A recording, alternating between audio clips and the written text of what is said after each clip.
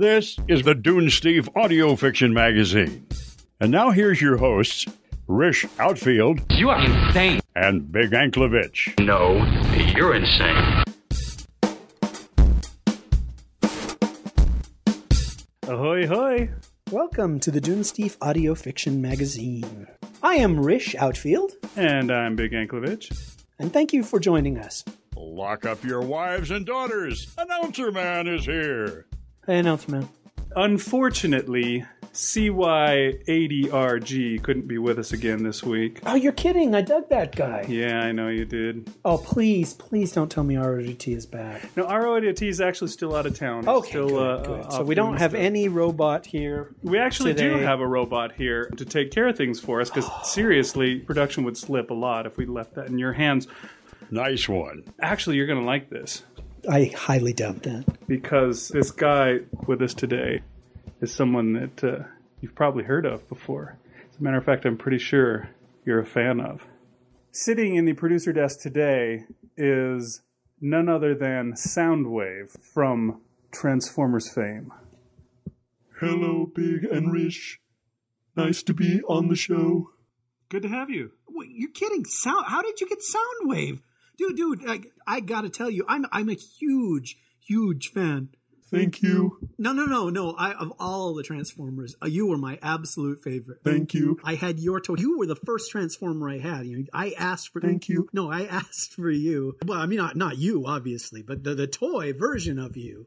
It's just so weird to actually be in the same room as you. I I hear. Kind of interesting, huh? It's a pleasure. Yeah, it's good to have you. Wow, how did you manage to get Soundwave in here on this? Well, turns out, you know, ever since the original series has been over, he really hasn't had much work. I mean, they came out with that Beast Wars crap, and then Michael Bay just anal raped the whole franchise, and Affirmative. you know, it was pretty bad. So he's basically uh, working for the same temp agency as uh, CY80RG now. Well, hey, I'm I'm sorry that you're on hard times, but uh, it is just a thrill to have you here. And, and uh, if you weren't so damn big, I would shake your hand. And speaking of that, you know, I've always wondered, Soundwave, how is it that you're so damn big when you transform into a friggin' tape recorder that fits into my palm? What's the deal with that? The stainless steel construction of my corporeal form mixed with energon and Okay, direct come on, no, seriously. trade secrets. Uh, Hasbro sworn us all to secrecy. great. Anyways, at least he can push buttons as well as Oedo T does, so there's that. way better than Oedo T. Dude, Oedo T is a personal friend of mine. Oh, He would have made a fine Decepticon. oh, okay, I agree with you there, man. yeah, What would he have transformed into? yeah, I don't know. I, I wasn't Oedo T at your bar mitzvah? Or was that Optimus Prime's? I forget which one of you guys is Jewish. Optimus is of the chosen people, yes. Ah, And and and what are you, Soundwave? If you don't mind us asking. I'm more of a non denominational. Okay, well, Shouldn't we start on the story now? no, no, no. I, I, we're in no rush, right? Well, I don't know. The author might get irritated if he's got to listen through 20 minutes of pre story stuff. Okay, well, if the author has any taste at all, he is also a fan of Soundwave. I mean, some things never go out of style. I, I'm sure that you will be back on top once again, just like uh, Robert Downey Jr. and Johnny Depp, those guys that later in life the real stardom hits. Yeah, maybe. I don't Thank know, you. though. I, I wonder if the fact that he's a cassette player might be hindering his. Listen, can we not talk about that? Can I just play the story, please? All right, we'll move on to the story. Sorry about I don't mean to hurt your feelings. Soundwave. Okay, so today's story is uh, Hang Up and Try Again by Derek L. Palmer. Derek L. Palmer works as a software technician, a job he is wholly unqualified for, at a Culver City dental products company when he isn't maintaining the computers of people with intimidatingly white teeth. He fancies himself as a writer of horror and urban fantasy stories. His work has been heard on the Steef before, recently in our anti Valentine's Day story, and most notably in our very first episode, which you probably still haven't listened to. We'd like to thank Michael Eliyahou, Lizanne Herd, Julie Hoverson, and Abigail Hilton for lending their voices to today's episode. Today's music is Way Too Much by Leslie Hunt, and you can check out all the links in the show notes.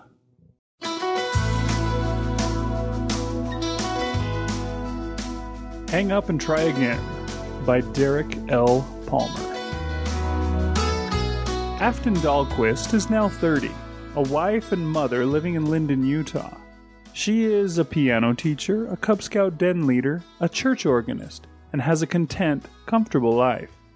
She stays busy, whether quilting, taking the boys to their t-ball and soccer classes, the girls to gymnastics and swimming, a series of foreign language on tape courses, cooking for the shut-ins in her neighborhood, an online baby blanket selling site that never quite gets off the ground, Deseret Industries drives, and endless vacation plans with her husband.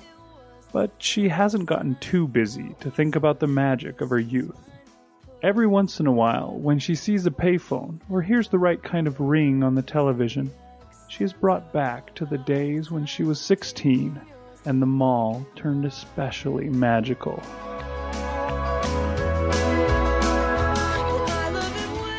Afton McCarthy loved to go to the mall. There was always something new there, a sale to look into, something to buy, something to plan to buy, something to dream of buying. There were cute boys sometimes, but mostly it was an exciting social place where sometimes they saw people they knew or made friends with an employee at Bead Connection or Musicland or ZCMI. Even alone, there was something magical about the place. The very smell of the mall made Afton smile. Since she'd gotten her driver's license in October, the University Mall had been her major destination.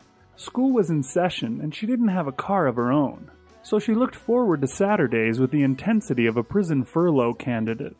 She and her best friend, Brenda Beck, went every Friday or Saturday, even if they had no money or interest in shopping. It was a place to go and people watch, or pretend they were someone else, or just be free of parents. It had been three weeks, though, and Afton was itching to get back.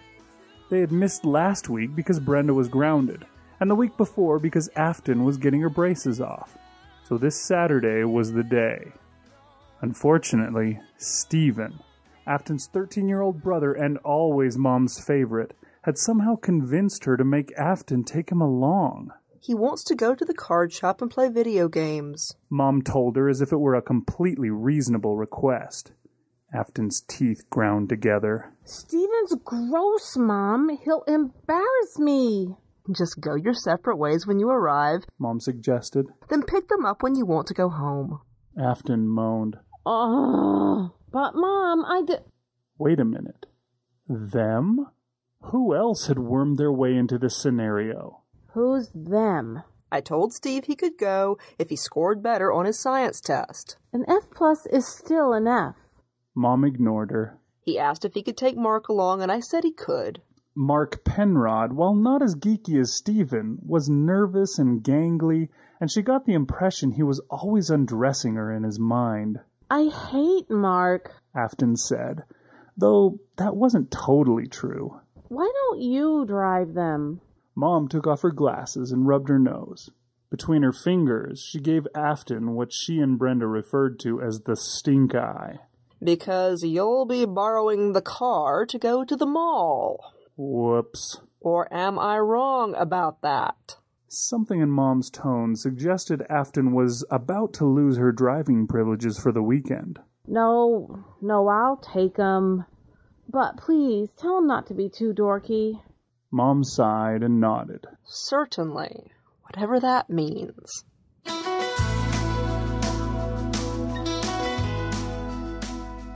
So it was on a Saturday afternoon that Afton drove north to Provo, her best pal Brenda acting as co pilot, with Stephen and Mark jabbering in the back seat. Afton had physically threatened Stephen if he was anything less than invisible on the trip, and while he had told her to get out of his face, he had agreed to stay far away from the girls. At five o'clock, Afton and Brenda would meet them at the video arcade and head home from there. Stephen was being something of a butt, though not more than usual. Mark kept tugging at Brenda's seatbelt. Either he was trying to choke her, or he liked the way it pulled her t shirt tight against her chest. Either way, the girls couldn't wait to be at the mall, and when they got there, Afton parked in the first spot she found, not bothering to find a space close to her preferred entrance by the food court. Five o'clock. She reminded her brother as he and Mark took off to do who knows what. He grunted a reply, but was happy enough to be there that he seemed almost pleasant. University Mall was as much fun as ever. Afton and Brenda wandered high and low through the big department stores to the tiny out of the way shops, almost like they were on a scavenger hunt. They split an orange Julius, looked for a card in the Hallmark store. Afton bought some sheet music at Burt Murdoch, glanced at the Tom Cruise posters at Prints Plus, and cooed at the cute little glass deer at Crystal Creations. Brenda tried on nearly every size 6 shoe the mall had to offer, and Afton almost bought some neon blue earrings that she probably wouldn't have worn much anyway had she bought them. The girls had a laugh at a cute boy who was winking at Brenda, then nearly died when his mother came out of Deseret Book and told him not to wander off. Before they knew it, it was 10 to 5, and Afton and Brenda made it to the far corner of the mall where the arcade was. It was a large, underlit connection of game lined rooms on two levels, and was filled with noisy, loud, and or obnoxious boys. Afton found Mark sitting in a mock jet cockpit. She tactfully waited until he crashed and burned before asking him where Stephen was. Round here somewhere. He said, looking at his watch with a frown. I saw him a minute ago. Brenda motioned Afton over where Stephen was playing Smash TV with a greasy, long haired kid. Time to go. She said. No, it isn't. Afton frowned. Technically, he was right. Besides, her brother was. Almost at the end of this level. Whatever that meant. Five minutes. Afton said, impressing Brenda with her patience. No problem. If he makes us late, that'll guarantee my mom will never make me bring him again. They wandered around for a minute or two, looking at the games and the boys playing them. It all seemed pretty boring to Afton, and the boys all seemed pretty nerdy to Brenda. At the back of the arcade, Brenda heard female giggling. She and Afton turned to see a pair of girls around their age chattering excitedly to one another. They looked to be freaking out. Suddenly, they broke into a run, expressions of joy on their faces. We gotta tell Sandra about this. One said as they ran by. Afton was curious and walked over to the darkened corner where they had been giggling. Four machines sat there a blinking, faded joust, an out of order pinball machine, a payphone, and a lonely looking video bowling game. Afton got closer, seeing that the payphone wasn't really a payphone but another game made up to look like a phone booth. It had a seat inside and a phone receiver, but no touch numbers to dial. There was a slot for quarters right inside the booth. She was looking at a video game, or something very much like one, called Magic Phone Booth. It was quite stupid looking, with a curtain like a photo booth, and a drawing of a wizard holding out a phone and exclamation marks coming out of it. She should have ran away right then, corralled her brother by the ear, and headed home. But instead, she stuck her head in the booth. There was a small screen inside, not as big as the ones inside video games, flashing insert coin. Under it, block letters said three minute conversation with anyone, anywhere. Colorful images moved across the screen showing various cartoon people talking on the phone. One said, Hello, Michelle. Another said, Hello, Elvis. Another said, Hello, Bigfoot. Afton saw Brenda standing next to her, Do you want to play it? I don't even know how. but it looked straightforward enough. Brenda had a quarter, two in fact, and handed one to her friend. Could be fun. She said. But Brenda was always saying that, whether it was about sneaking out or swiping stuff or leading boys on. What, should I call Tom Cruise or something? Afton asked, about to return the quarter. As soon as she said it, though, she thought it could be pretty funny. So, as a lark, Afton got in the booth. She placed the coin in the slot, and down it went. As soon as the coin was gone, a jolly five second tune played. Insert coin became Pick Up the Phone. Afton did so. A crude image of the wizard from the outside of the phone booth came on screen and a message blinked below it. The text on the screen said, Please tell the magic phone wizard who you wish to call. Be specific. At that, Afton was more skeptical than ever, but it didn't stop her from saying, Uh, Tom Cruise, star of Top Gun. As soon as she was done speaking, she heard several electronic beeps, the same kind you heard any time you had an operator dial a number for you. Then a ringtone, and another. Hello? A friendly, youthful voice answered. Afton smiled at the trick. Tom? Speaking. Tom Cruise? Sure. Who's this? Afton was going to answer, then gave it a little thought. If someone really called Tom Cruise's number, would he just pick up like that? Surely he had secretaries or answering machines or assistants or something. She asked, Where are you right now, Tom? I'm in Malibu. Th- that's in California, right? Right. How did you get this number? Did I call you at home? Sorry. She said, though she was not sorry in the slightest. This was great. It's no biggie. He told her, though she'd never known a real person to use the word biggie. I just wanted to tell you that I've had a crush on you since I was eight years old. Thank you. Thank you very much. He said, though it sounded pretty rehearsed. I bet you hear that all the time. Hi. He chuckled. From time to time, yeah. But it's always nice to hear. Thank you. Wow, he was really polite. You know what movie of yours I love that nobody ever talks about? What? Born on the 4th of July. That was so sad. Yes, that was a good one. Oliver Stone. Thank you. You're welcome. What's your name? Afton. Afton, I sort of need to go. I've got some people over. Afton was tremendously disappointed. Girls? No, they're some friends from out of town. But I appreciate the nice things you told me. You're the best actor in the world. She said, though it sounded stupid to her own ears. Thank you, Afton. Well, bye. Bye. And he hung up. Afton hung up the phone too. Brenda put her hands on her hips like the models do. Well? Well, I think that was really Tom Cruise. She felt a bit tingly right now. How do you know? That was true. She hadn't asked for proof. But then she just knew. I recognized his voice. Wow. Brenda said, not quite believing. It's a trick, right? It should be, but. But Afton didn't know how it could work. It wasn't a recording or anything. Well, maybe it's an impressionator. A what? You know, maybe. Brenda thought aloud. Maybe there's a bunch of operators standing by who do a bunch of celebrity voices. And when you say the right one, a light comes up on the screen in front of them and they pretend to be him. Afton thought about it.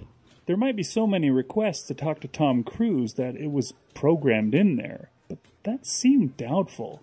How many girls are there who play video games, though? Brenda looked around the arcade. There were a couple of females there, but most of them were mothers or very young children. The giggling teens that got them into the corner were gone. She didn't feel like giving it much thought. Besides, she wanted to believe in the magic phone booth, or at least give it a try. Okay, my turn. Brenda said. She hopped into the phone booth like she was strapping herself into a bumper car. She chose to call Mr. Prunty, the high school vice principal.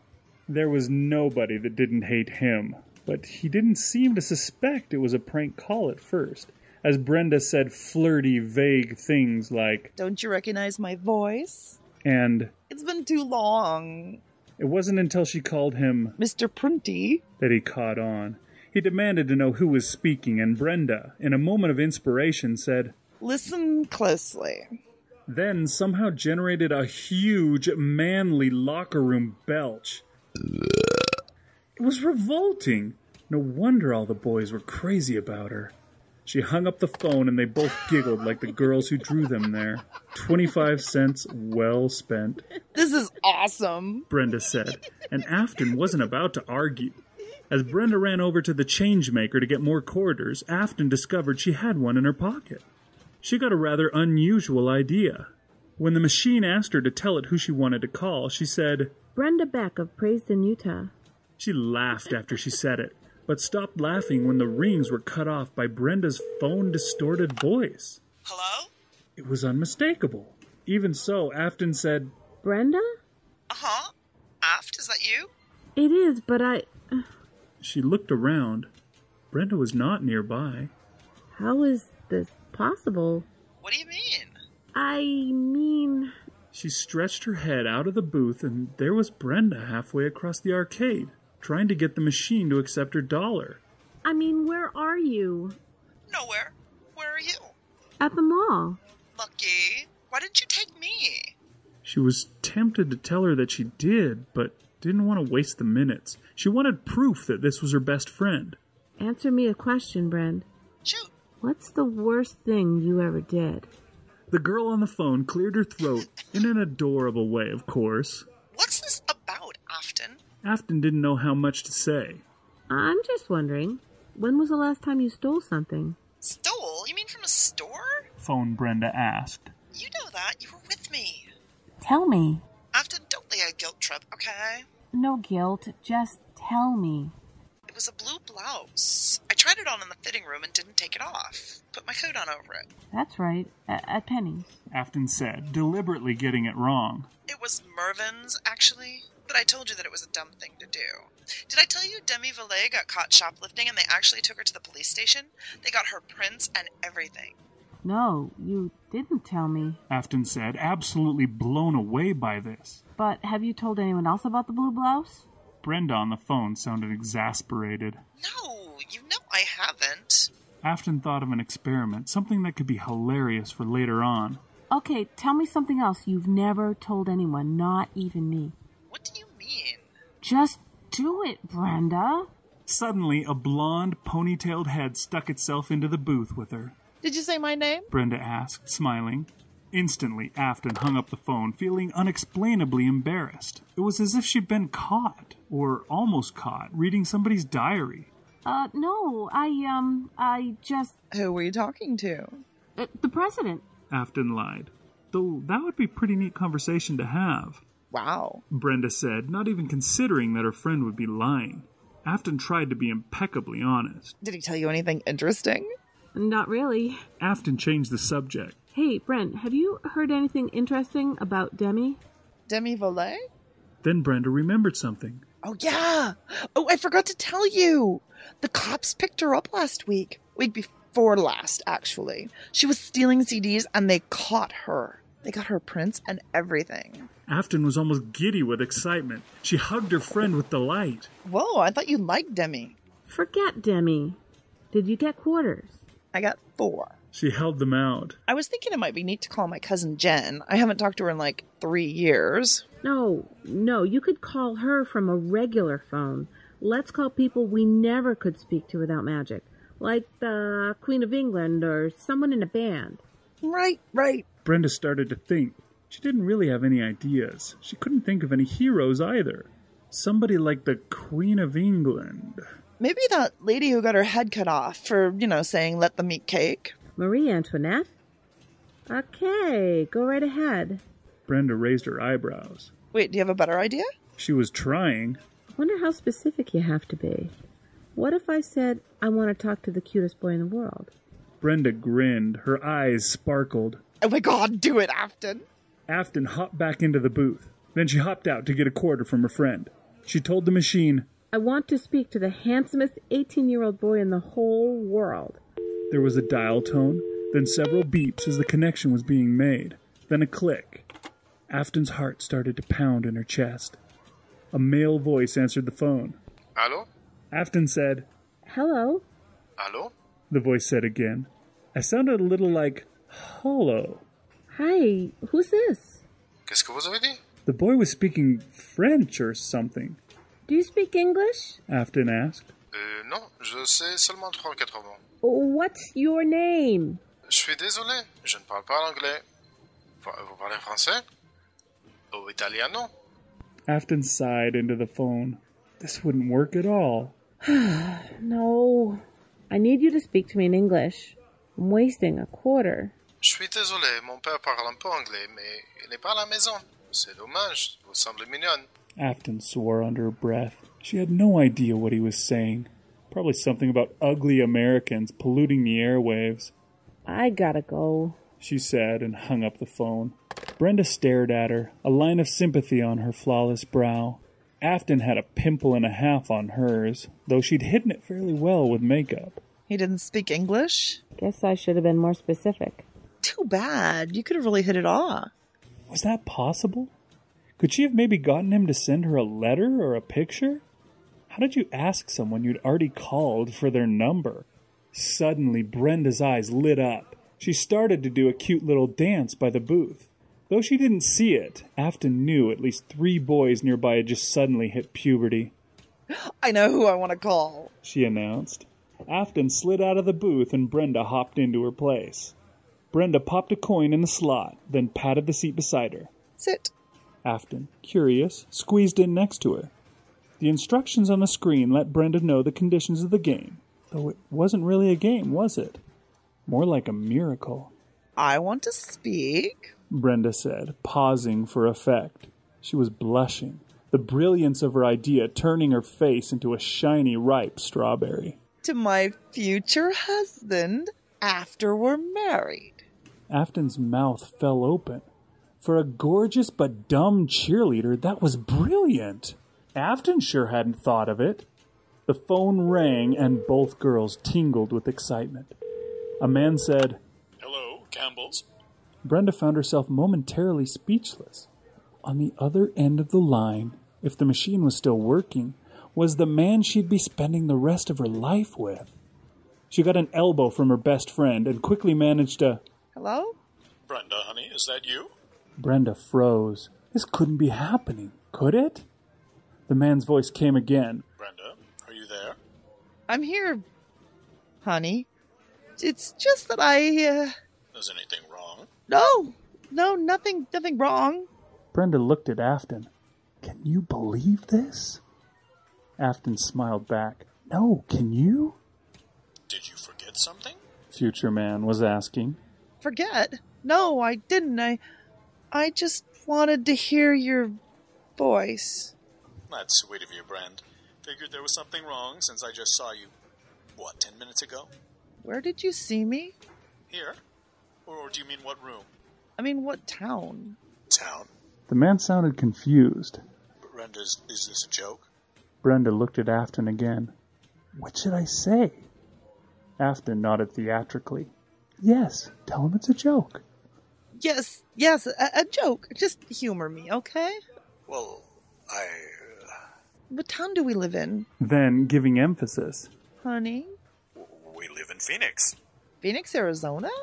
Brenda couldn't believe it. She'd never even been to Arizona. And she hated hot weather. Oh, Phoenix, Minnesota. The man responded, getting impatient.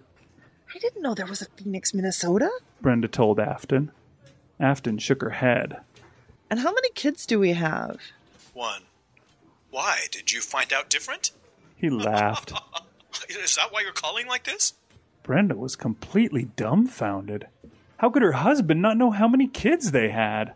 Was he, what was the word, estranged? Afton rolled her eyes. He thinks she might be pregnant. Pregnant? Brenda whispered. Then that means we've been having sex. Afton rolled her eyes again, bigger. Married couples do that, she said. Then she added, Well, except for my mom and dad.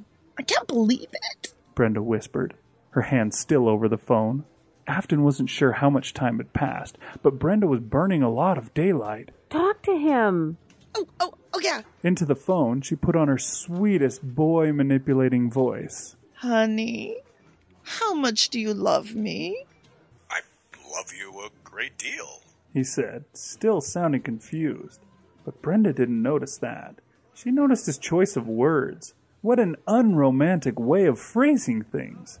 Could she have married a geek or a scientist or something? What's this about? And are we happy together?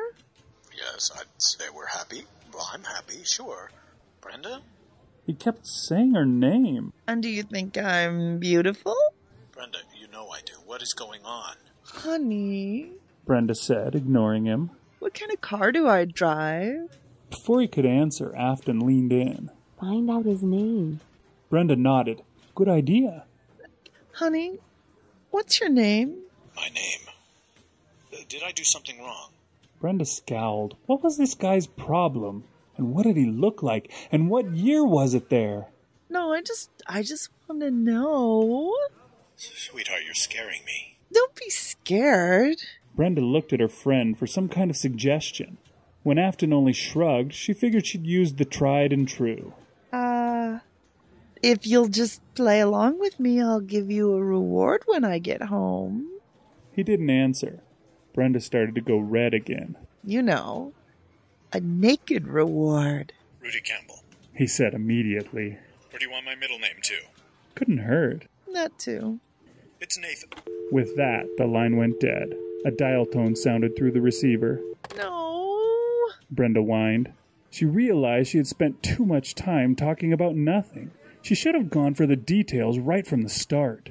But then she remembered she had three more quarters, I'm calling again. she announced. No, no, no. Afton said, giving her a gentle shove. It's my turn now. I want to talk to Rudy Campbell. Brenda made a realization. Oh my god, my name is Brenda Campbell, and I have a kid. Congratulations. Afton pushed again. You can call him back in a minute. It's my turn. Brenda slid out of the booth, and Afton reached for the phone. Then she remembered that she had no quarters. She stuck her head out to ask Brenda for one. What are you guys doing?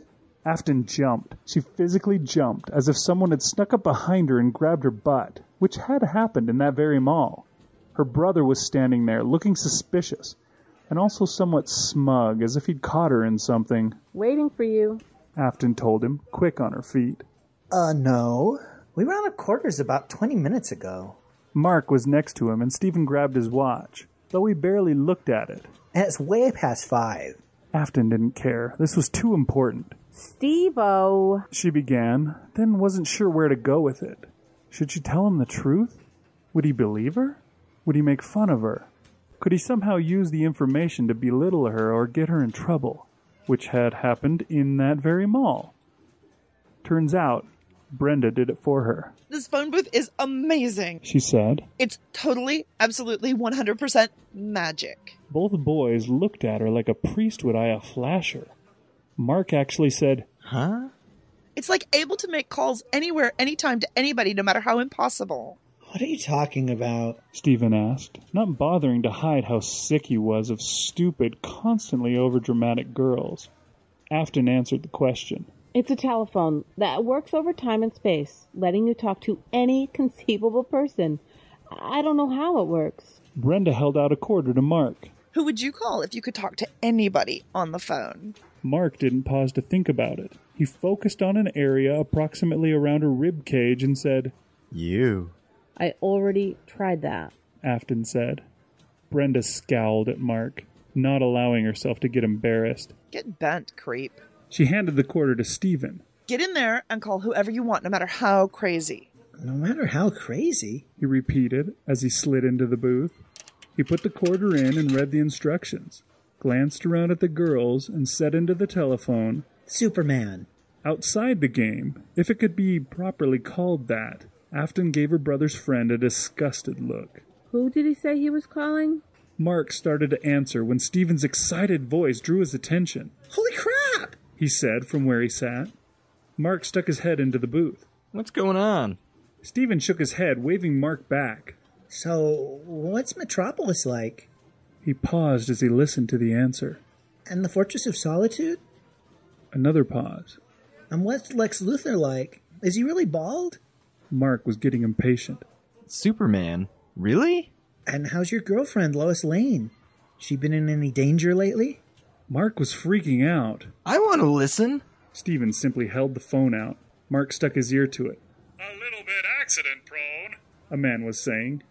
It was a strong, confident, heroic voice. But she's a journalist, and part of her charm is that she'll do just about anything for a story. Of course, she's excellent at what she does, which you've probably read. Mark gave the phone back to Stephen, who immediately said, Uh huh. And uh, how goes your life as Clark Kent? Well, whatever the man on the other end said, it suddenly put Stephen on the defensive.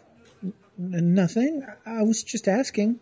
This was strange, No, I, I didn't. Stephen said. I just thought everybody knew you were Clark Kent. Mark wanted very much to hear the other end of the conversation. It's Stephen, Stephen McCarthy. But I didn't mean anything by it, Superman. In saying the name, Stephen's voice seemed to crack, as if puberty just took a giant leap forward. I'm sorry. What is he telling you? Mark asked, glancing over at Afton. She was beaming as if the phone were her invention. No, Stephen told the phone. you, you can trust me, sir. Mark turned back to the girls. Brenda was looking impatient. Hadn't she been the one who said she would stay till the mall closed if she could? Hey, Superman, Stephen said inside, his voice now sounding more childlike than usual. I just wanted to tell you that I think you're great. If you were real, I'd. Stephen cupped the phone and his mouth, telling a secret, but Mark still heard him say. I'd, I'd want to be just like you. A moment later, Stephen hung up. He climbed out of the booth and looked at Brenda and Afton. That really was Superman. How could you talk to Superman? Brenda asked. He doesn't exist. Afton also found it remarkable. Well, he, he just chewed me out.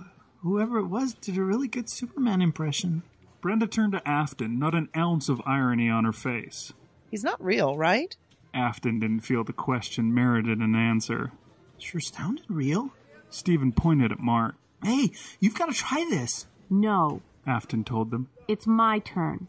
Who are you gonna call? Brenda asked. Ghostbusters! Shouted Mark, laughing. No one else laughed. Besides, I haven't got a turn. Call Spider Man. Suggested Stephen. Afton bodily shoved her brother out of the way and stepped into the booth. He complained loudly as if seriously oh, injured, but she didn't budge. Brenda leaned in next to her. Hey, Aft, if you can call fiction people, we can call people on shows we like, like soap operas. Can you give me a minute? Afton asked, her hand over the receiver. This is kind of important. Brenda clammed up and backed off. Not hurt exactly, but somewhat surprised. She could feel Mark's eyes on her backside and gave him the finger as she turned around. What? Inside the booth, Afton pulled shut the little curtain and said, Sabrina McCarthy, please. As the phone began to ring, Afton steeled herself for disappointment, for an operator telling her the call could not be completed as dialed, or for the machine to simply hang up and eat her quarter. But there was a click as the connection was made and someone answered their phone. Hello? A scratchy Utah accent said on the other end.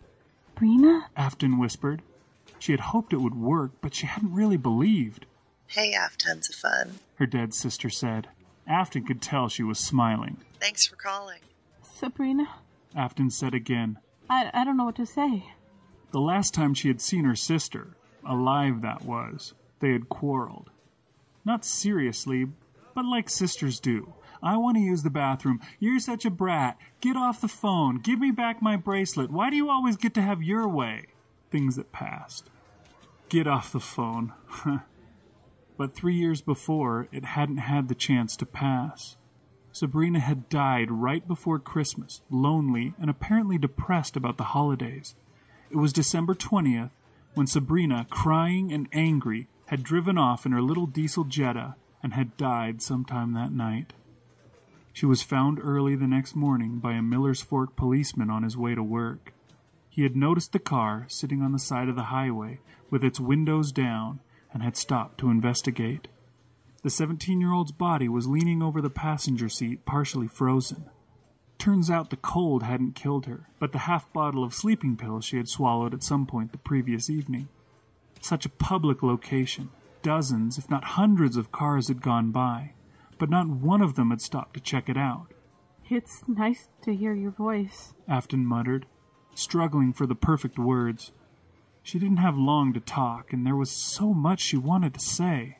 It's magic. her sister remarked. She sounded content, as she hadn't been in the last few months of her life. Then Afton knew what she wanted to say. Oh, Sabrina, I'm so sorry for The words came out with a struggle and tears that were almost physically painful. For being mean to you. I wish. I wish. Afton, Sabrina said, calming and insistent. you don't have anything to be sorry for. We were sisters, and you were a good one. I'm the one who should apologize for leaving you, for hurting you and mom and dad. I didn't mean to. I sure regret it now. Afton sniffled.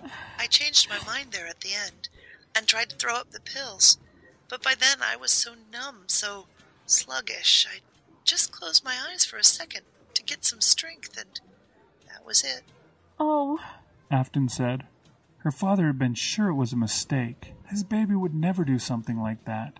Surely there was someone else involved, one of those worthless kids in black clothes and lipstick that she roamed around with. When Mrs. McCarthy had suggested that the man didn't really know his own daughter, well, he hadn't handled that well. Sabrina, as if sensing time passing, spoke up. I've been watching you, kiddo, and I'm impressed. no. Really, I am. You're becoming a lovely young woman. Changing, sure, but keeping the innocence you always had. Tears streamed down Afton's face, and she merely nodded, not thinking that her sister couldn't see her through the phone. Outside, Brenda, Stephen, and Mark were all standing around impatient and awkward. Something was certainly happening in that booth, and the fact that Afton was crying made it all the more uncomfortable. Sabrina's scratchy voice continued inside. Aft, you've got to fight to find the positive in life. Don't focus on the negative like I did. Keep up your piano playing. It'll take you far. Oh, and, and why don't you give Shane a call? Afton wiped one of her cheeks. He doesn't want to talk to me. Not on the day you went over to his house. He'd spent the whole day before playing soccer with his cousins, and his legs hurt so much he could barely stand. He was embarrassed, not mad. Afton had to know something. But why didn't they get to you in time? If you didn't want to die. Oh, Aft, there's only one person who can answer that question. Who? You know who. Sabrina said. I wish I had been a better sister to you. Afton found fresh, hot tears running like a constant stream down her face. You were a great sister. So were you. Afton, you're out of time. Afton looked. Sure enough, there were 14 seconds left. Take care of Stephen. Her dead sister said. He needs somebody to help him be less of a dork, not point out how dorky he already is. A surprise, I will. Afton promised. Love you, kiddo. Love you too. Hey, Sabrina, Yes? where are you right now? I thought you already knew that. Don't worry. The connection was broken. The screen went back to insert coin. Afton sat in the booth for a minute, holding the phone. Outside, Stephen glanced at Mark's watch again. We're gonna get in trouble. Mark shrugged. He didn't really care. And Stephen's mother was much more permissive than his own mom. So blame it on your sister. She'll never believe me. He imagined explaining that Afton had held them up in the video arcade, crying no less. He couldn't believe it himself. They saw Afton finally hang up the phone and started toward her. Brenda stopped them. Give us a sec. She said. Brenda stepped over to the booth and tapped on the plastic. You okay? Afton said nothing for a few seconds, then drew the curtain and looked up at her best friend. Your face is, um. Brenda began, then fished in her purse for her makeup compact. That bad? Afton whispered. Brenda handed her the mirror. Luckily, it was dark in there. Since the restrooms were right next to the arcade, they decided to make a break for it. Where are you going? Stephen asked, at the same time as Mark asked. What happened? Meet us outside the bathrooms. Brenda said, leading Afton toward the exit. Are we leaving then? Mark asked, as Stephen asked, Can I have a quarter? but both were ignored.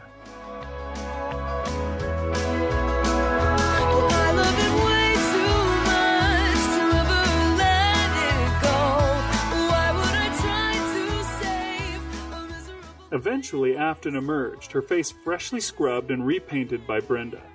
Why she had bothered to put on makeup to go home, Stephen couldn't understand. As they headed to the car, she was mum on what happened or why she was broken up by it. She only said it was personal and that she'd take full responsibility if their mother was angry at the lateness of the hour. Turns out their mother had fallen asleep on the couch with an old movie playing on WGN and actually apologized to them when she woke up and realized she hadn't cooked any dinner. Afton said no problem and let Stephen order a couple of pizzas. Before Brenda headed home, she asked Afton what it was like, whether it made things better or worse to talk to Sabrina. You promised not to tell anyone. Afton said. I know, I know, but I'm still curious. I, I guess it was a little of both. I mean, it hurt to hear her voice, knowing she's gone, but, well, I got to say goodbye to her, and. Afton trailed off, forcing herself to stay unemotional. It had been one of the most profound events in her life, something she'd never forget. She felt an indescribable connection to the spiritual world. I got, I don't know, some kind of closure, like they say on television. Brenda nodded, though she didn't really understand. To be honest, she was already blocking things off in her mind, trying to explain away what had happened. Unreality, it seems, did not suit her. A month later, she would no longer believe she had spoken to her future husband or that Afton had spoken to her dead sister. Six months down the line, she wouldn't even remember it. After Brenda went home, Afton went in her room and closed the door. She unearthed her journal, ashamed to see it had been almost three months since she had written anything in it, and began to jot things down. She knew it had really happened, knew it was real. Her sister sounded like she was all right. It seemed that Sabrina, who had been so unhappy and inconsolable for so long, had finally found a little peace. And to think she could talk to her sister any time she wanted, just by going to the mall. Another reason to love it. As Afton wrote about their exchange, she found she still had questions.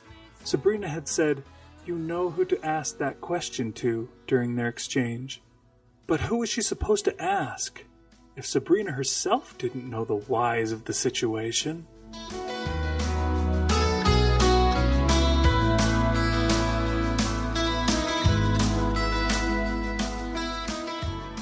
The University Mall was closed on Sundays, so she'd have to wait until Monday.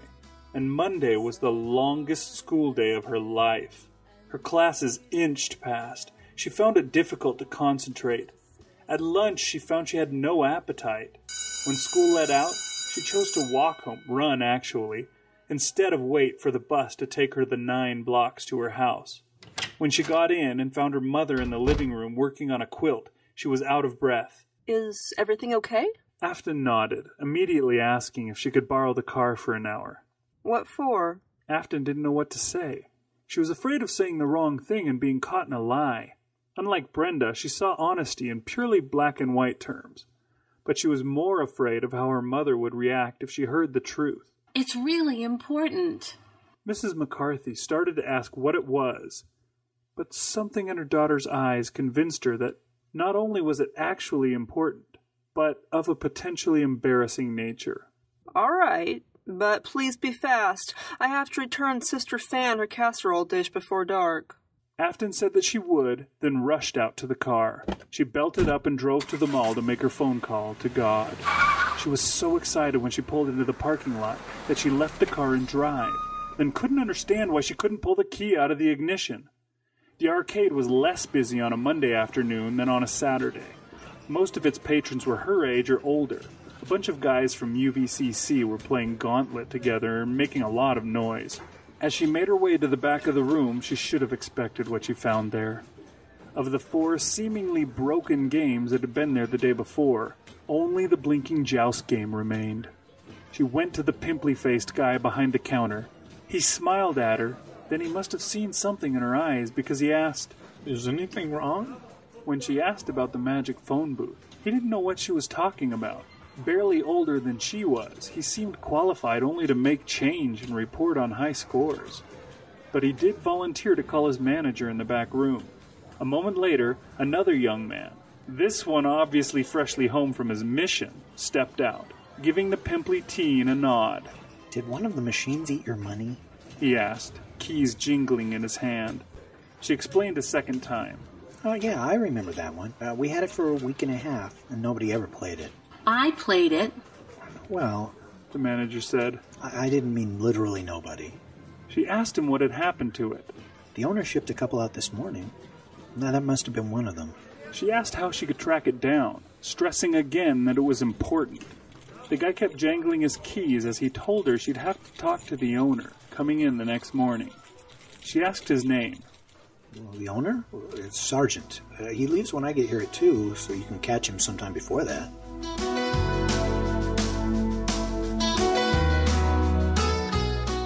Afton wasn't about to sit through school a second agonizing day in a row.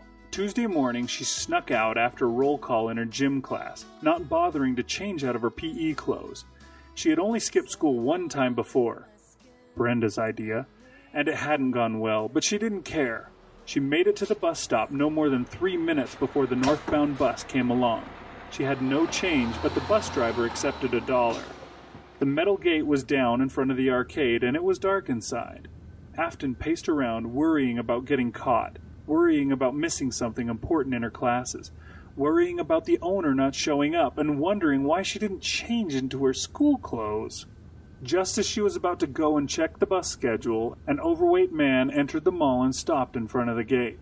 He fumbled for his keys there, and Afton stepped up to him. Mr. Sergeant? He turned. He was balding and paunchy, with a bulging stomach and thick glasses. Yes. I was here yesterday. I talked to the manager about tracking down a game called Magic Phone Booth. The owner smiled, snorting a bit. Oh, that. He unlocked the gate. I sent that back. Oh. Where?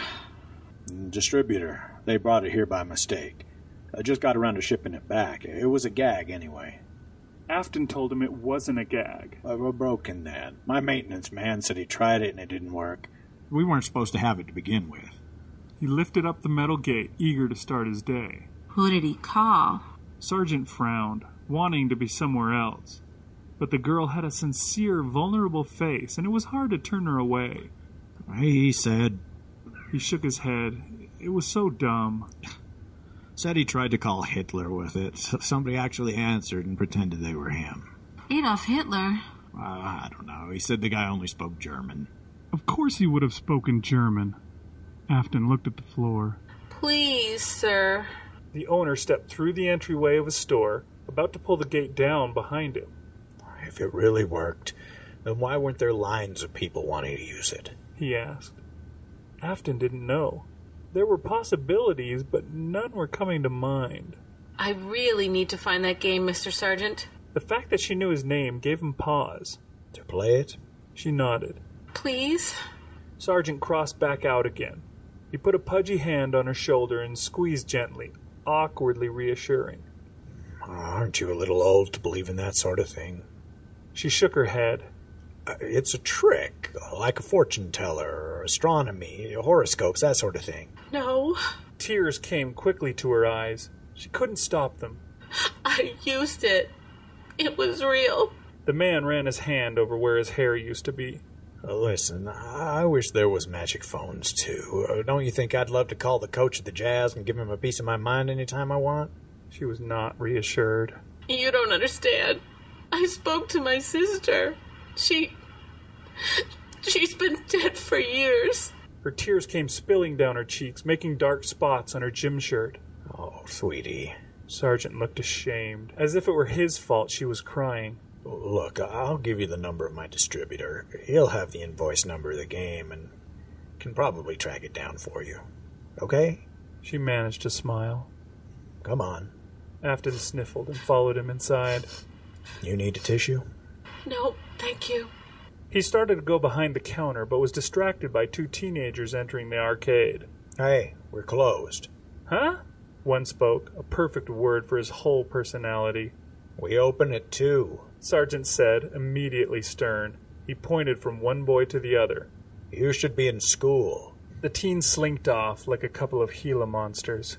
One called the owner a feminine hygiene product as they slipped out under the gate. The man glowered after them.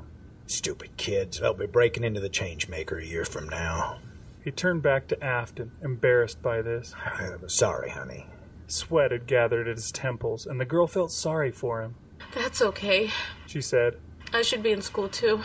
Mr. Sargent went into the back room. The arcade was oddly silent around Afton, with the games dead and dark. One or two still beeped and played their tinny music, but mostly it was unusually quiet in there. It felt like a lonely place. When he came out, he handed her a piece of notepaper. The name and number had been written in pencil, in a lovely artistic print. Thank you so much. He lifted up his glasses, revealing honest, kind eyes. What's your name? Afton. Afton, I'm not saying I believe in magic telephones, but if they do exist, there are some things that, well, it's better not to know. If I could talk to my old dad again, I'd do it all the time. He had all the answers all the time, and when he died when I was 14, I was never the same. He met her eyes, trying to see if she understood. Without him around, I had to grow up awful fast. A lot of the choices I made when I was your age, I made because I thought he might be watching me. And I didn't want to let him down. If I could have just called him up, well, I might have made more mistakes and respected him less. Afton found herself nodding. I wish I could have stayed in touch with my dad, but if I had, I wouldn't have learned the same lessons I did on my own. Think about it before you call. Okay, she said, though she had no intention of doing so. Look, l- let me get you something. Will you wait? She waited.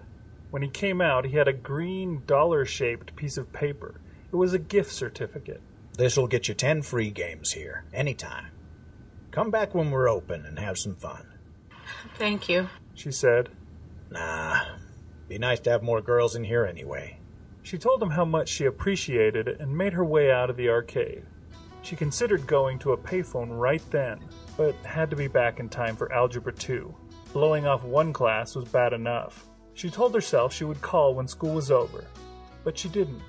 She told herself she would call the next day, but she didn't. Time passed, and she gave Stephen the gift certificate. Grateful, he treated her like a normal human being for almost an entire day until he forgot. But she never called the distributor's number. She even tore the paper in half once, but didn't throw it away. It ended up slipping into the cracks of obscurity as most school papers or childhood keepsakes do. She told herself she'd call one day when she really felt she had to, even though by that point she didn't know if the distributor could even find the game again. But that day never came. Maybe once was enough. Maybe she liked the possibility of magic more than the reality of it. Maybe she was afraid of what would happen if she actually got God on the phone. Or just her sister again. Or John Lennon. Or her firstborn son. Or whoever. Maybe there were too many doors that could be opened that way. Too many easy answers to questions she needed to think about long and hard on her own. Maybe life was complicated enough without throwing the supernatural into the mix. Maybe she didn't know. Yeah, that was probably it.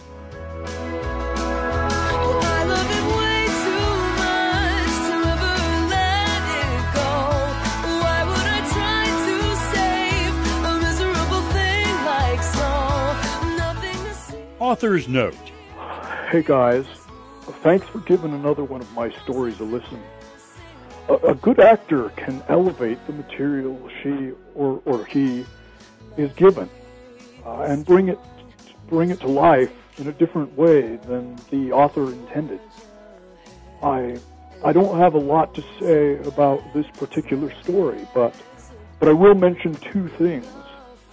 Although I didn't explicitly state it, this um, this story is supposed to take place during my youth, in the late 80s, when every mall had a busy, dimly lit video arcade, and no kids had cell phones or um, those teleport ankle bands that are coming soon. It was a, a, a simpler time, uh, and it's what I know, so there's that. I chose to use Tom Cruise as the teen idol because he was so huge in those days but but he's still popular enough today to have relevance if kids read the story now. Uh, part of the fun of, of, of writing this piece was coming up with people you could call if a magic phone booth actually existed. I I made a list of a bunch of possibilities and got so carried away that well I'm worried that the story got really long. You know, I, I hope not, but but there is a shorter version out there that you guys chose not to go with. So, so you probably know what you're doing. I, if it if it does go on and on, I'm sorry, but I hope that somebody out there got a kick out of it and may, maybe even got the nostalgic feeling I intended by trying to remember that time in my life and and, and projecting it on Afton and, and her friends. I, I I tend to write a, uh, I tend to write about teenagers a lot because that is a confusing, exciting, and, and, and, and magical time of life. You know, trying new things, going out into the world without a clue as to how things work or or what might be behind the next corner. Uh, of course, I'm mostly talking about myself here, uh, and and maybe you, if I'm lucky. Thanks.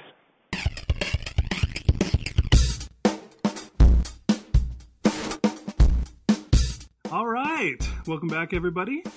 Welcome back. In case you're just joining us, we got Soundwave here in the studio.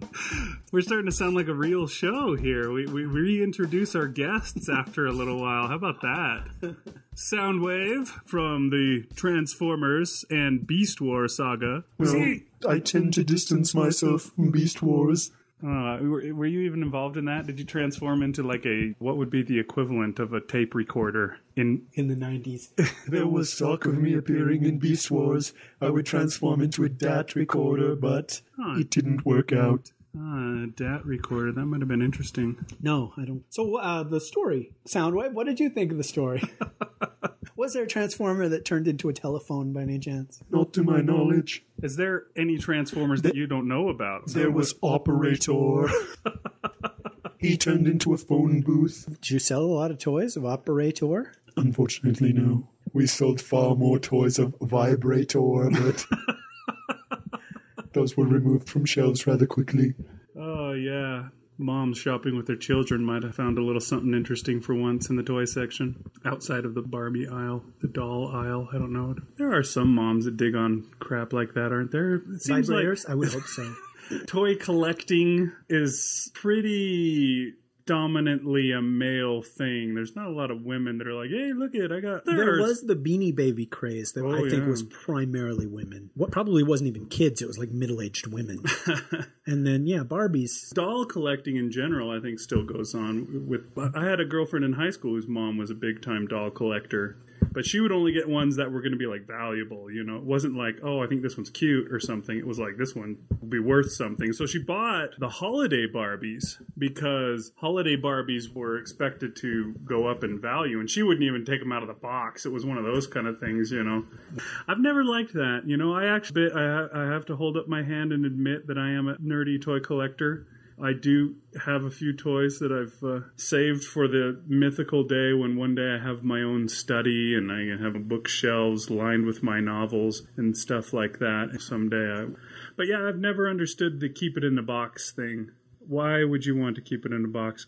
I don't know. It, well, it's got to go back to the Star Wars craze because when those toys suddenly became valuable in the '90s, if you had one that was unopened, you know, it was worth ten times what Uh-huh. the regular version was, or, or maybe way more than ten times. And now I- I think the perception is that any toy, and, and that's probably true too. and Probably with your toys, Soundwave, the Transformers, if you still have it in a box, it's worth unbelievable amounts. I, I think that's what it is. It's just these people that are like, I get more joy from imagining being able to sell it for 10 times its value in the future than opening it and playing with it. Hmm. But it's not something that I feel. I had those Star Wars toys and tore them up and buried them in the sandbox and threw them and all sorts of fun stuff. And I never regretted any of that. It's Uh-huh. just the fun that I had as a little boy with them far outweighs any dollar amount that you could affix to Right. them now. Yeah, I did, I did that with my GI Joe toys, and I was much older by the time GI Joe was uh, what I was into, and so I still had them in fairly decent shape by the time that I was okay. I'm not going to play with toys anymore, and I had them in a box in my closet. But I had a little brother that was seven years younger than me. And he was just like, oh, there's these great toys, and they're in a box, the top of the freaking closet. And so all the time I would come home and my closet doors were open and there's like a chair or something propped up next to it. And my brother has gone up there and gotten them down. And at a certain point, I finally said, you know what? It was like I suddenly became Woody from Toy Story, where was trying to explain to Buzz Lightyear or something. Yeah, it doesn't matter you, you know you're better as a toy than you are as a space ranger because you got a, a child that loves you and thinks the world of you or whatever. And so i finally thought what am i going to do with these toys in the box? And so i got the toys out of the box and i gave them all to my little brother to play with all the time. He did the same thing. He buried them in the yard and threw them over the fence and all that kind of stuff. So all my gi joes are, are long gone. I kind of miss them, but you know, they made my little brother happy, I hope. So there's that. So you don't think that at some point you would have gotten them down, say in high school, and played with them? Uh, I was having sex in high school. I don't know how we got on to this topic. I do. Yeah, I'm not sure where that topic came from either. I guess, uh, but we were going to talk about the story. I think. Okay, well, what what was it that you liked about this story? Why did you choose to do it? You know, when I first read this story, I just I don't know. It's the idea of you got a phone that can call anybody. What are you going to do with that? And it, I just thought it was really fun, all the different things that these kids did as they came up with one idea after the other of who they could call. It was just really entertaining where they would go next with it. And some of them were really fun. You know, the girl who calls her husband to be before she's calling the future and talking to her husband after they're married, and, you know, and the kid who calls Superman, all that kind of stuff. And I also like the the bit with the the French kid, you know, the the cutest boy in the world or whatever. I don't know if uh, anybody in our audience understood what it was that the uh, French boy was saying. I only have a very, very I don't speak a word of French. So yeah, don't I have a very basic knowledge of French because I took French in high school where you don't learn anything. Okay, if if you had a magic phone booth, if there was a magic phone booth right here, and you could go in and call anyone, who who would you call? If Operator suddenly walked in the door and transformed, and I could just dial up whatever I wanted. I think we have a much better version right now of the story, with it being an enemy robot in disguise. I don't know. I if I could call anyone in existence, even you could even call fictional characters. Yeah, what happens if you pick somebody from a thousand years ago or whatever, where there were no telephones? Well, it didn't seem to matter. I mean, she called her friend while she was across the room getting changed. So apparently something would happen. I don't know. Maybe they'd pick up a seashell and they'd be like, What? I hear a voice in this thing. And they'd start, I don't know how that works out. But uh, when I was a, a teenager, my mom passed away. And it's been 20 years now since that happened. And we weren't one of those families that had the video tape recorder the uh, minute that became possible to get. I do have some film that she's on, but you don't hear somebody on uh, the old 8 millimeter films and stuff like that. You can see them. But yeah, we have like one videotape in which my mom appears, then I could get some kind of memory refresher or, or whatever as to what she was like. And and the whole time, you know, and my brother's got the camera, he's pointing at her, and she's like, "Turn that thing off, get it out of here, don't point it at me," kind of a thing. So she was always that way, you know. She didn't want to be in pictures, she didn't want to be in anything. A lot of people are like that, where they just don't appreciate being put in that position, I guess. And she was definitely one of those. So yeah, there's nothing to fall back on to, to you know, to help uh, remember what my mom was like. So maybe that would be a good person to call. I don't know.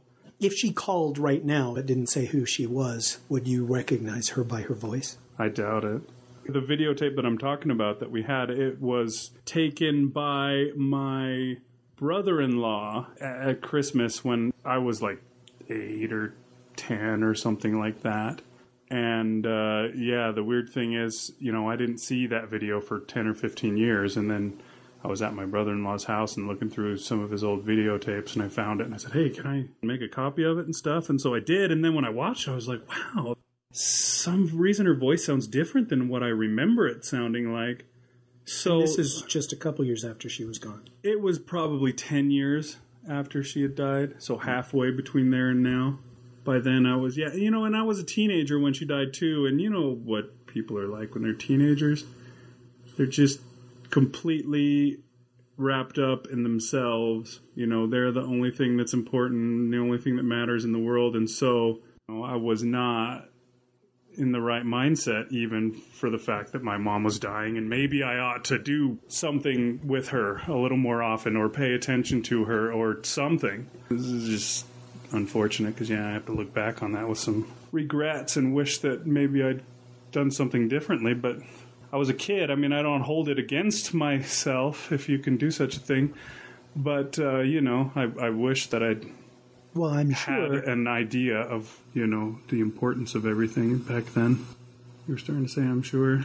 Yeah, no, you, you're fine. If you don't blame yourself, then I, there's nothing I can say. I was going to say I'm sure that she would tell you, you know, not to worry about that kind of thing. That I mean, we just we've all been teenagers, and we know Yeah. how important such unimportant things are to a teenager. And, and the one weekend that I get grounded or whatever, it's like the end of the world that I don't get to go out with my friends, who I don't even maintain contact with now. Right.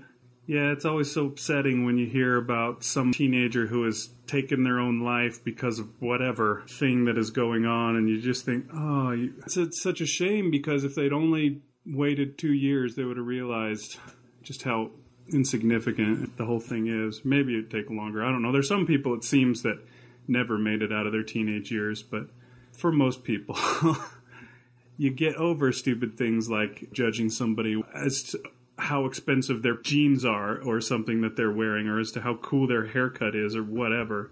Yeah, that's one of those things that's just ludicrous to me now that anybody would care if you had a members only jacket or an OP shirt or Holy crap, members only jackets were the best. you know whether you had parachute pants on or, or just regular pants or, or, or whatever it might be. You know the, what symbol is on your friggin' tennis shoes or- Uh-huh. or, trainers for unascertained.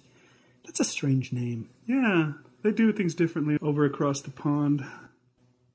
Anyways, I guess that's who I'd call. I'm not sure if I had more time to think about it. No, that makes total sense. Um, I might come up Do with a few more. and that's that's how the girl was. But yeah, I would definitely lean that way. Just like, and, and maybe the girl gave me the idea. I don't know, but I think that would probably would pick that anyways. But who would you call if you had the opportunity to call anybody in the history of the world? No, I think when we were doing the uh, Twilight Zone episode recently, I talked about my favorite episode and, Oh, so you would you would call that chick that was the cat lady? And Perchance to Dream. No, I already met her. Oh, I, oh, sorry, I, I didn't mean to interrupt. Go on, go on. I called the young Elizabeth Taylor. Oh, It's like describe yourself in front of a mirror. No, I, I would, I would call myself as a boy uh huh. and try and give myself encouragement and advice. Ah, Tell myself to avoid some of the mistakes that I m- would make later in life, and and the, the and, thing and is, then you as a boy would say, "F off! Why don't you go eat a bag of?" D-? I don't give a crap what you say. What are you, some old piece? of Leave me alone. have you seen this in another story? No, that's something I've been completely fixated on for twenty years, for more than twenty years. It's just Uh-huh. the idea of an older version, an experienced version of myself being able to advise and mentor a younger version of myself. Uh-huh. Because I'm one of those people that just dwells on mistakes that I've made over and over. In fact, geez, is it okay if I do this right now? Uh, maybe. I've got to apologize. Um, and it, it's been weeks ago by the time this episode airs, but I said something on an episode that I, I need to address. Um, there was an episode we did a while ago, and I said that the director of the new Spider Man movie was named James Webb, but it's actually Marc Webb. I, I just kind of had to get that off of my chest. You've been dwelling on that for a while too, haven't you? At least it was Webb. But aside from that, I'm one of those people that goes over and over and over conversations that I had, or arguments, or fights, or or mistakes that I made, or accidents, or whatever it is. And I would love to be able to advise the younger, naiver version of me. I mean, even the one that, that's speaking right now, I would love a future version of me to fix Uh-huh. me and my world. and in the story, you only had three minutes. Is that right? I think so. Yeah, something like that. So I don't know what I'd say to it, like a 12 year old version of me or a 10 year old In three in minutes. three minutes. Yeah, but I would try. And, you know, the same with you and your mom. You know, you try and jam as much as you can into that little conversation and hope that it sticks. I, I think in this particular story, there's no repercussions, though. You know, it's not like as soon as you hang up, the time frame would change and the Uh-huh. advice you gave to yourself would have taken effect or anything Uh, like yeah, that. Yeah, I don't know. I don't. I don't know that that was actually because in the story, I don't think they ever called anybody in the past. They called future husband. They called already dead sister. Yeah, but Brenda has no knowledge of this conversation that she Right. had on the Oh, phone. there's because that. it's sort of just a magic thing. There's that. That's true. Yeah. So maybe you couldn't call yourself and advise yourself in the past. Maybe you could only talk to somebody and hang out. Would you like to call and hang out with your uh, twelve-year-old self, or would that be excruciating pain? It might be really embarrassing. I've I've gone through that scenario a few times, wondering if I would just beat the crap out of the younger version of myself because I know myself and I know I've got no greater enemy in the world than me. And I, I can just imagine shaking myself and trying to get me to listen, knowing what I'm probably thinking right now, you know, and, and knowing that it, I'm not going to apply any of the advice that I'm giving. You know, I've wondered that before in my past too. I wonder if that would make a good story idea. Maybe I should write something like that. But I had this idea way back when of what it would be like if I had like an exact copy of myself. To have sex with? No. I, I'm sorry. I, I, uh, I, what were you saying? I, I was, I was Uh, miles away. That kind of creeps me out. No, I was just just as a friend. If there was an exact copy of myself, would I want to hang out with that person? would that be a really good friend because he is me? Or would I just be like, holy crap, I cannot effing stand this guy. I wish he would go away. And then what would that do to you? Because you know that that's you. Anyways, would you totally hate yourself? I don't know. That might make an interesting idea for a story sometime. I don't know if I ever wrote anything. The closest you're ever going to get to that is an identical twin. Uh huh. And you know, I I think on the air I talked about this girl that had an identical twin, and she was so intrinsically tied to this person that, like, you know, she would call her several times a day at work, and I'd just be like, "Whoa, who are you talking to now?" It's oh, my sister again. She's like, "What?" You shut and and she went into some kind of withdrawal if they weren't together. Uh-huh. Everything that she did each day, she she was incomplete until she told her sister about it Yeah. and found out what her sister had done on her day. Now maybe that was a strange. Uh, I, I don't think so. an aberration, but there was this David Cronenberg movie called uh, Dead Ringers where Jeremy Irons played identical twins, and one of them said to the other, "You haven't experienced something until you've told me about it." And it was just yeah, this weird parasitic incestuous relationship between the two brothers and i just thought holy crap that's what twins are like ew but that's totally how this girl was with her identical Huh. twin and you know, I've I've seen that with a lot of different twins, where a lot of them. I mean, twins have a tendency to be really, really, really good friends for some reason. But there's also, I think, a tendency because tendency. they some- shared the same sack. Sorry. There's also a tendency sometimes for twins to rebel against that whole thing as well because sometimes there's that perception people can't tell them apart they'll mix their names up and stuff like that and sometimes they will purposely do something totally different from what their twin does just so that they can be that one no i'm not the one that does this i'm They want their own identity right that apart from their twin. Sometimes there's that too that I think twins have to deal with. I don't know. My I have nephews that are twins, and then on my wife's side I have nieces who are twins. And the nieces are much younger, so they haven't gotten to any, you know, identity crisis on multiple Earths type thing yet. But my nephews are much older, and there was a time when they were younger that I had a hard time telling them apart. Not so much anymore because one of them has adopted a more severe haircut, whereas the other has got a more crazy haircut. So that kind of helps. But I think I'd still, I think I still would have problems. So it's uh, as much to do with the fact that I live in a different state than they do, um, as it is for whether they have their own identity. Well, I, I was sort of interested in this girl that had the twin. Uh huh. And Just because Just- you were hoping for a threesome, wasn't it? I think everybody's brain goes there. but but I, what I would realize when I would talk to her and hear her talk about her sister as though she was herself was how close to this girl could you actually get? You could never be as intimate with this girl as her sister is to her. They Probably share the same friggin' egg. Same double helix. Yeah, they had lived 90% of their lives together or something like that. And it certainly they you know they couldn't stand to be apart for more than a couple of hours. And i think you would always just be a seat filler for her sister. But that, that's my opinion. And, and, and, and granted this was just this one girl and maybe other people revolt against that. They really push away from that and say no, i'm going to be my own person Yeah. and i'm going to only call him on our birthday and things like that You've probably offended all our twin listeners. yeah, and I didn't mean to. I'm just saying with this particular twin, and sadly, she was the only identical twin I ever knew. Uh-huh. So I don't know what others were like, but I was fascinated with it. I mean, I I've never known that, and you ha- apparently have two sets that you can talk to and stuff. But yeah, but just the thought that somebody could come up to you and think they know you because Yeah. of the way you look, but it's your sibling that they actually know, or what you know what I mean.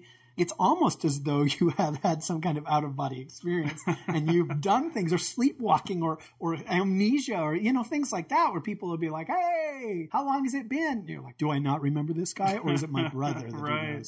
Yeah, you're always wondering if you're uh, in that uh, sci-fi story suddenly where uh, things have changed around. She says, thanks for last night. And you're like, oh no. oh, man. Can you, can you remind me in every specific detail? I liked last night too. Let's do it again. Uh, we- Yeah. We're not really touching upon this particular story. but hey, uh, When do we me. ever, anyways? We always just use the story as a uh, takeoff point for a thousand tangents, so it's all good. Hey, oh, hey, Soundwave. If you could use the magic phone booth and call anybody, who would it be? I would call Megatron. Ah, that's what I would have guessed. What is the deal with you and Megatron, anyway, Soundwave? What do you mean? Okay, like in the movie, Megatron is like dead. Everybody's leaving him, and you go back and pick him up and carry him away lovingly in his arms. I could not leave him there. Yeah. So what's the deal with that? What are you insinuating? You know what? What is the deal? Hey, hey, hey, let me interrupt. Soundwave is not gay. He's just extremely loyal. Thank you. Extremely loyal, is it? Yes. I resent the implication. Now you're going to say John Travolta is gay, Tom Cruise is gay, Kevin Spacey is gay, Ryan Uh, Seacrest is okay, okay. I guess I'll let it drop. But it, you have to admit it's awful suspicious. You have no idea of brotherhood and loyalty. You would never make it as a Decepticon. Well, the Decepticons were the bad guys. They don't like each other. Well, wait, you guys had Starscream. Yeah, seriously, Starscream was endlessly trying to take everything And Megatron now, had. Starscream, he was gay. Oh. Ah. Okay. Well, what about Rumble? I mean, Rumble went back and carried Megatron's little gun right behind you. I mean, come on, that's. Oh yes, Rumble, a giant queen. I didn't realize he was going to be such an offensive guest. Okay. Yeah, Soundwave, I think we're going to get in trouble for all this stuff. I, I, y- you're going to have to edit that stuff out, I think, and, and, and we're going to have to move on because. That's right. Let's let's just talk about the story. Yeah, let's move back to the story. Sorry. He checked. Whoa, holy crap. That part was recorded on Laserbeak? wow. Now, see, I could never tell Buzzsaw and Laserbeak apart. Laserbeak was the only one they ever used. Talk about uh, identical twins, yeah. Oh, yeah, there's that. But Well, what, weren't they different colors? Uh, Laserbeak was red. What was Rumble's little twin? Like, I don't remember. Frenzy was Rumblebeak's little twin. I don't remember. I, I don't know that we've ever said it on the air, but that part in Transformers, the 86 movie, Mm-hmm. where Rumble is carrying Megatron's gun, is like the greatest friggin' thing. That- I mean, I, I remember when the 2007 Transformers movie came out, I was like, dude, that moment where Rumble is carrying Megatron's gun is the greatest thing in this movie. And people would tell me, no, that wasn't in the 2007 Transformers. that was in Transformers the movie. And I'd be like, oh, whoops, sorry. greatest thing in the 2007 Transformers movie was the lines that they lifted directly from the 1986 movie. When, Couple of lines, When it? he says, one shall stand and one shall fall. That was the, pretty much the only good part, yeah. What did you think of the 2007 movie Soundwave? You enjoyed that, uh, the, the new uh, updated look of the Transformers, right? Whores. Whoa! All of you whores. Whoa! Soundwave! I didn't know you were such a foul mouthed. Michael Bay can lick my robotic taint. Jeez! All right, no, no, I, I'm in agreement with him. I mean, I don't have a robotic taint. Maybe after a car accident or something, but uh, Michael Bay he can. Yeah, he probably should. In 1998, I went to the premiere of Armageddon. Okay. I was in LA doing an internship, and we all Uh-huh. got to go to that. And you were young and naive and you had no idea. I needed the money. anyway, Michael Bay came to the. uh, You know, obviously he came, but Michael Bay was there, and uh, you know, people were blowing him and throwing him money and That's how prophylactics and hotel room rings and throwing him whatever orifices were available. And and uh, I had just seen Armageddon, and it was a terrible, terrible movie. And here was the director right there in front of me, and he was shaking people's hands. And I said to to my friend that I was there with, I was like, "Oh shoot, please don't have him ask what I thought of the movie, please, please, please." And basically just shook my hand and said, "How you doing?" And I was like, "Good, good. Hope to see more movies from you." This is the stupidest crap. But Chris asked me, "What would you have said if he had asked you what you thought of the movie? Would you have lied?" Uh, I probably would have told him I really liked The Rock. But yeah, that was a really strange experience because, boy, that was a bad movie. I don't know that it was as bad as Transformers. Which would you say was worse? you can't put that question to me because I've never watched Armageddon. There are times, Mr. Data, that I envy you. That was the biggest money making movie of the year, wasn't it? It sure beat out Deep Impact. Yeah, I think it was the big movie of '98. Number one song for Aerosmith, at least. First one ever, I think, sadly. I like that song. Yeah, it's all right, but they've got a lot of good songs, and if none of them were number one. We used to have a podcast, you and I. Yeah? Tell We'd play it. stories on it, and Uh-huh. among those stories was Hang Up and Try Again. Oh. But we had nothing to say about it. Hey, in the comments, please don't bash us, but feel free to tell us who you would call the magic phone booth. Can you believe I'm doing this? I'm resorting to this. How do I live with myself? Don't know. Me from 2015 is going to call and say, please, please don't air the Hang Up and Try Again episode. Do you have to only have one call? These people didn't have one call. You could call several people, right? Yeah, it depends on which version of the story you read. The author explained to me when we accepted the story that there was the short version that didn't include as many calls, didn't have as many. But my favorite part of the story was the various calls that they made to the various people. So I chose to go with the long version. Maybe y'all were bored to death and wanted to decapitate me for my mistake, but I'm in charge, so eat a bag of and die. I gotta stop saying that. so this, we had a lot of female voice talent on this one. Uh huh. I, this, this was much more female centric than most of our stories, even though you read it. You know, you know we've really been uh, lucky to have so many people willing to do voices for us and, and to do such a good job. And I think Julie did Brenda's voice, but on the uh, on the read through, I did Brenda, and I think it was my best performance ever. Your best performance ever. I think so. Yeah, I think you know if, if I was ever gonna get a Parsec award, it would be which you're that. not. Maybe we could save that, and you could just send that off as auditions when you try to audition for like Captain Kirk or whatever on these other shows. If I was ever going to marry someone, it would be Rosie Cotton. All right. Well, uh, didn't you read? Okay, we're going to have a lot of outtakes, aren't we? We ought to finish this episode off. Huh? Let's finish this episode off.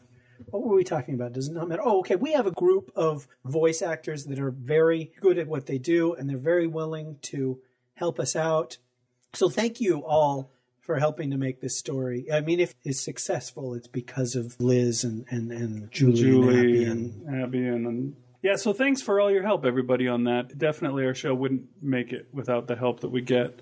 In fact, So- I think we've got one coming up where the narrator is female, the main character. Oh, yes, we do. And so that'll be really cool too. Yeah. So yeah, I guess that's our show for today. Yep. Thanks for listening. Those Thank of you who stuck around. Oh, hey, hey, and, and before you go, Oh. Soundwave, thank you for helping us out today. Anything in the editing that made this show less offensive, we have you to thank. That's right. It was my pleasure. Although most of the stuff he had to edit out was his own comments, but uh, all right. Good night, folks. Death to Autobots. I'm sorry, what? What? What was that? Nothing. Well, thank yeah, thanks for being here, and uh, maybe we'll see you again next week, Soundwave. Hope so. I've got so many questions. All right. That's it. Good night. Oh, I've been Rish Outfield. And I continue to be Big Anklevich. And I'm Soundwave. That, and peace. All right, Soundwave. And I'm Announcer Man. And announcer man, thanks for finally chiming in, though. Oh, okay, we gotta go. All right. So uh, yeah, that's been our show. Thanks. Good night. Thanks for listening to The Dunesteef. The Dunesteef is Oh, hey, released. announcer man, who would you call on the magic phone booth? Magic, magic phone booth. I don't know, I'm just an announcer. Okay, well, you've got us there. All right. I guess there would maybe be a magic phone book as well. Yeah, so you could get so you like could that. call those people, get their numbers. Well, yeah. Why? Maybe would the wizard was using the magic phone book. The guy with the in the picture. Uh, huh? you, did you just make a sexual intercourse gesture? No, that's that's him holding out the phone. ah, that's And it a has ex- phone in his hand. Has there. exclamation marks coming out. I'm going to draw that picture, and that's going to be the art. We got to do that. You go. Sorry, this is all we've got for you tonight. I wish it was better, too. The Dunesteef is released under a Creative Commons mm-hmm. Attribution, Non Commercial, No Derivatives license. So you can give it to anyone, but you cannot change it or make money off it. got some bad news. Believe me, we know that from experience. it, it was all right in its day, I guess. It wasn't the best effort, but. So, so yeah. Why are we still talking? I don't know. I thought we ended the show. Bye.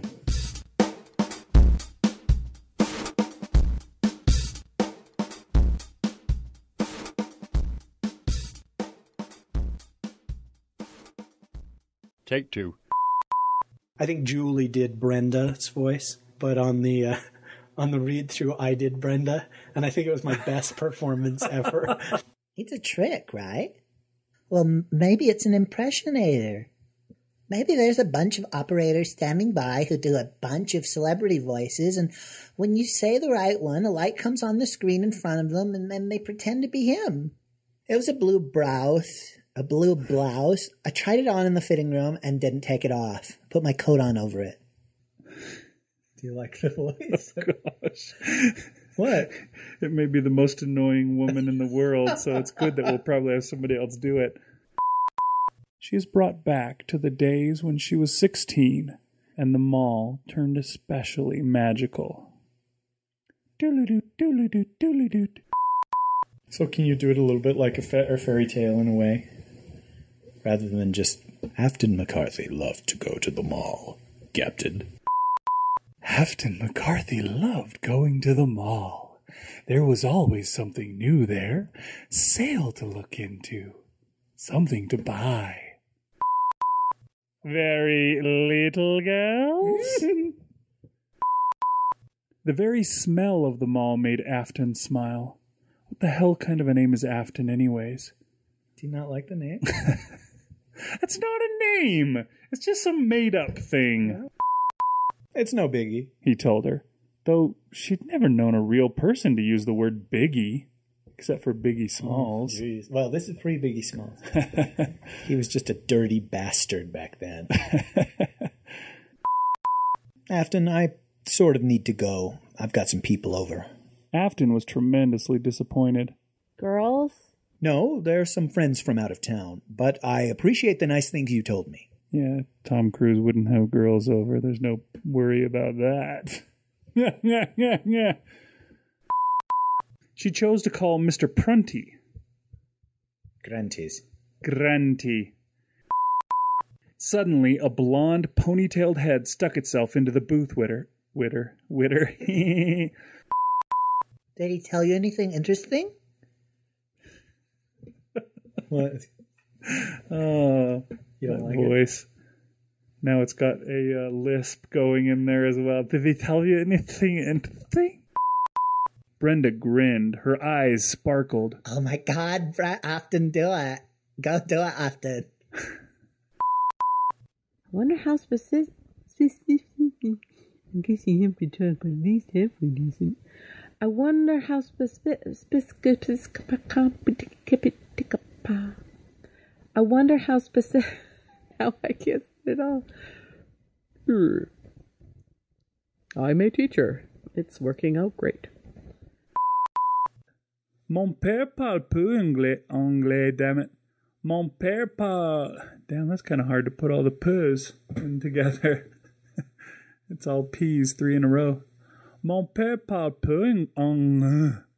Mon père parle peu anglais. Are we just gonna have that one dude read it anyways? I think so. Mais il n'est pas à la maison. Very impressive. That one was foamy and yucky. Just about threw up all over the microphone thing there. The poor guy. I oh. just pity him when he's just like, "Did I do something wrong?" or she's like asking him his name. And then he just immediately, Rudy oh. Campbell. or do you want my middle name too? Would you like any nicknames that I was once known by? My friends used to call me Skinny when I was younger, It's not bad. and my dad always called me that piece of.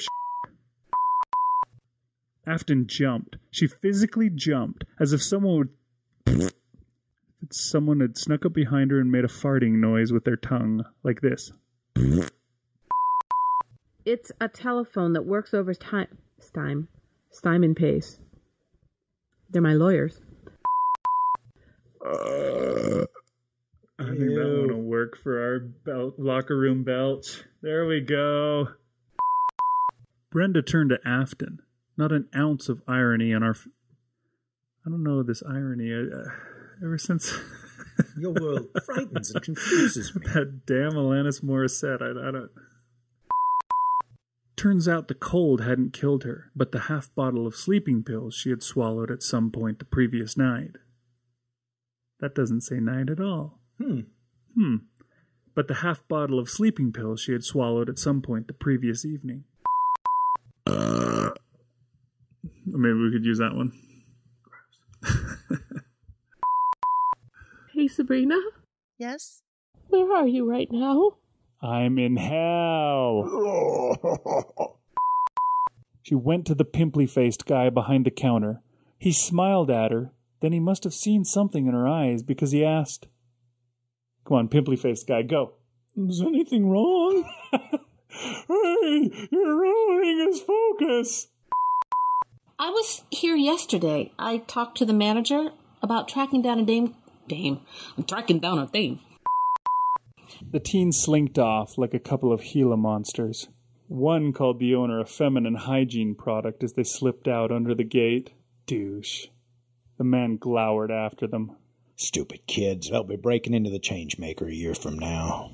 He turned back to Afton, embarrassed by this. I'm sorry, honey. Sweat had gathered at his temples, and the girl felt sorry for him. That's okay, she said. I should be in school too. Douche. no!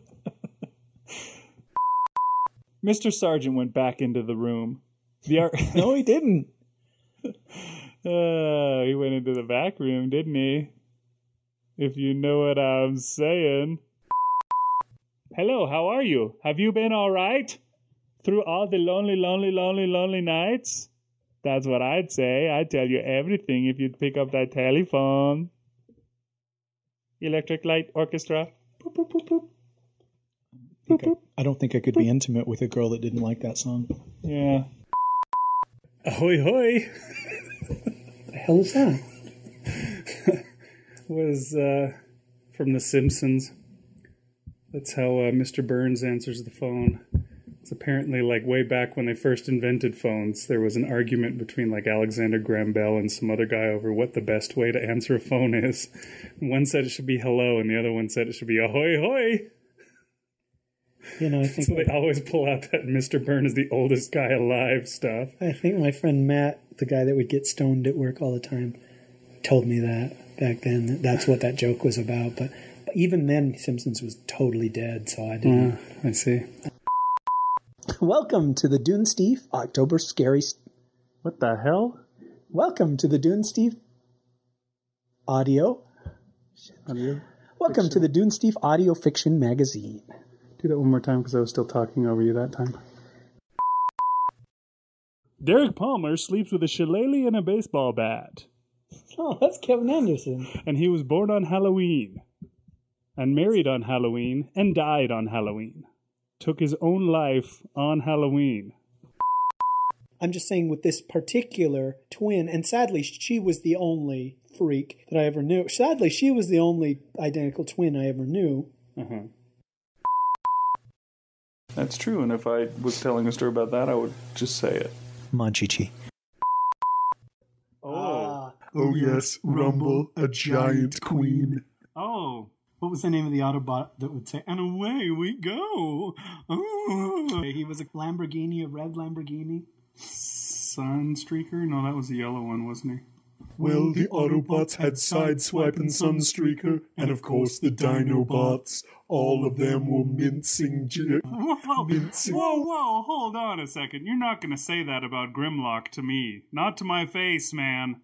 Grimlock was tough. A bull queer. Oh. Oh no, I don't know that we can You know, use any of this. Yeah, I think we may have to delete the Soundwave. I didn't realize he was going to be such an offensive guest. No, no, wait. In in Soundwave's defense, just mentioning that someone is gay isn't a. Well, maybe it is. Well, see, the problem is it's the whole perception. You know, if somebody knows that we're joking and having fun, even if they're gay, they laugh along. But if somebody, even if they're straight, wants to be offended, they will be. You know what I mean? Right. Okay, well, at least I didn't use the word fudge packer. Oh, you just did. Crap. Perceptor was a giant fudge packer. I had just seen Armageddon, and I mean, unless you're, you also hated that movie. I, why, I kind of have to cut out this whole episode. You can just bleep. A lot of bleeps. That's what we can do. Just bleep a lot of stuff. Yeah, Yeah, maybe The- the- that's, the that's stuff the that- way around it. that uh, that Soundwave says. Maybe too? Soundwave can say he was a beep. You haven't seen the second movie, right? No. But there's a Decepticon that can transform into a hot chick, and Are you serious? Like a hot robot chick, or no, like like a human being, hot chick that goes to his college, and they actually have a Decepticon transform into a girl, enroll in his school, and go to his classes. And you're just like, well, where's the logic in that? And I assume that it's to kill him, but yeah, just transform into a gun or a bomb or a backhoe and kill him rather than a hot chick. But yeah, again, it's like, okay, this thing turning into a car, I can believe. But a transformer turning into Isabel Lucas, I, I, I'm afraid I, I'm not able to. Uh... Did you see this movie? No, I didn't. And I, I shan't. And you're drooling, you're slobbering. She's a handsome woman, though. She was in this movie Daybreakers that I saw earlier this year, and Did you see what came up as the suggestion? Megan Fox, no, clothes. That's funny. This chick was so hot in Daybreakers that it distracted from the, the plot of the movie. Every time she was on there, I'd be like, ah, come on! No, that, that can't be. Dude, this is a, like a post apocalyptic movie. Nothing could look like that. We still recording? Sexy chocolate!